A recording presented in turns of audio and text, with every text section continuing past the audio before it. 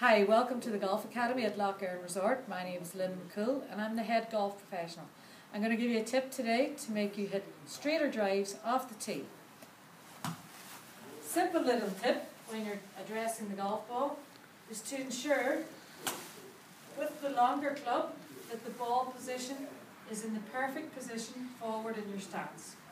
Just slide the club back and it should be inside the left heel. The next tip that we want to get right is to ensure that your sternum is behind the ball.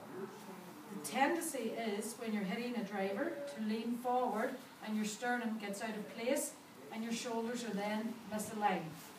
So do a quick check, place the club up against your sternum, bring it behind the ball, set yourself up with address, then perfectly straight.